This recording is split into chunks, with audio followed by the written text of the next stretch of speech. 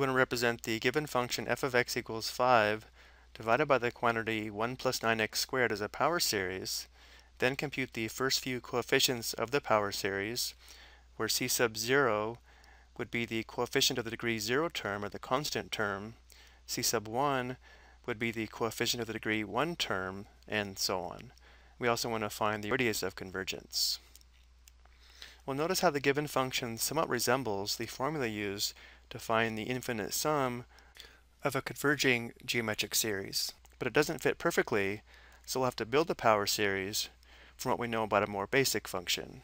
For example, if we had the function f of x equals 1 divided by the quantity, let's say just 1 plus x, we know we could write this as 1 divided by the quantity 1 minus negative x. So for this function, notice how a would be equal to positive 1 and the common ratio r would be equal to negative x. So as a power series, we'd have the summation from n equals 0 to infinity of a, which is 1, times r raised to the power of n, which in this case would be negative x raised to the power of n. We can change the form of this. We can factor out negative 1 to the nth and write this as the summation from n equals 0 to infinity of just negative 1 to the nth times x to the nth. Now from here, let's look at the function f of x equals 1 divided by the quantity 1 plus, instead of x, let's say x squared, which more closely resembles our function.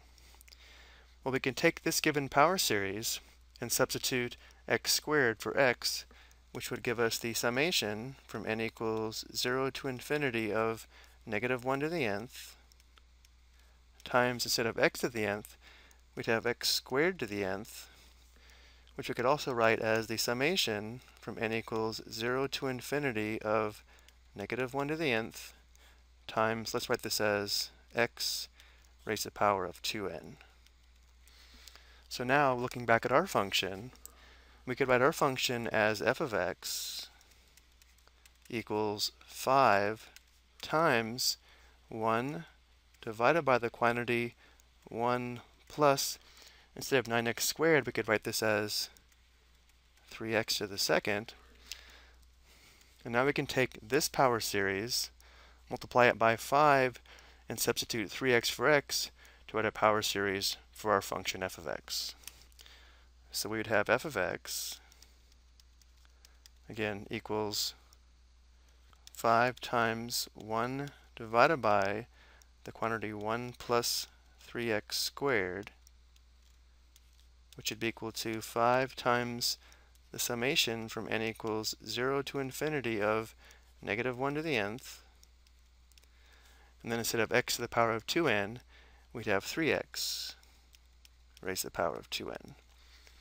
And now if we bring the factor of 5 into our power series, we can write this as the summation from n equals 0 to infinity of negative 1 to the nth times 5 times 3x raised to the power of 2n.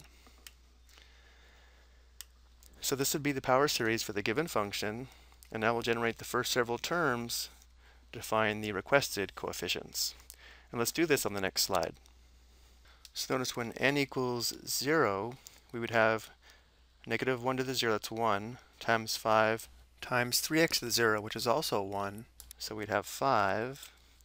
When n is 1, notice how the term would be negative, so we'll have minus 5 times 2x to the power of 2 times 1, or squared.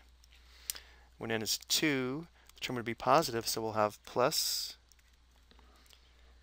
5 times 3x to the power of 2 times 2 or 4. Of course, this continues, but notice how this would be the degree 4 term, and the highest degree coefficient we're looking for is the degree 4 term coefficient. So let's go ahead and simplify these. We have 5. This would be minus 5 times 9x squared. That's 45x squared. Then here we'd have plus 5 times 3x to the fourth. That would be 5 times 81x to the fourth, or 405 x to the fourth.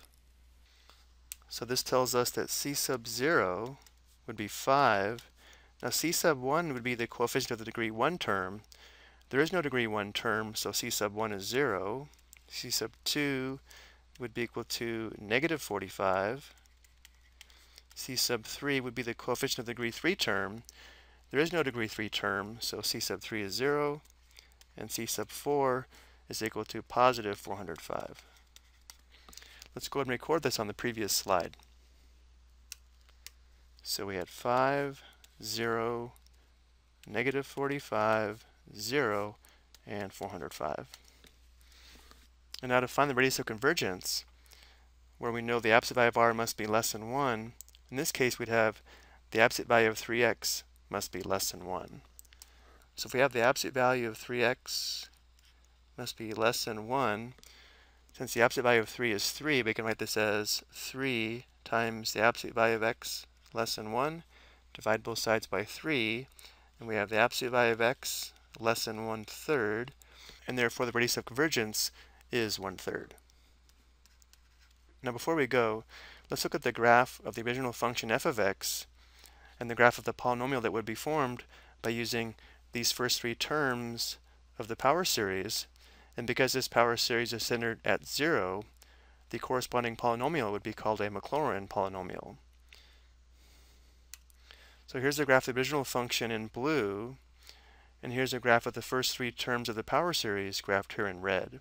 Notice how the polynomial function is a good representation of the given function around x equals 0, where the power series is centered.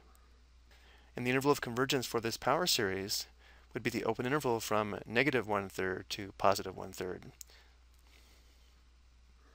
I hope you found this helpful.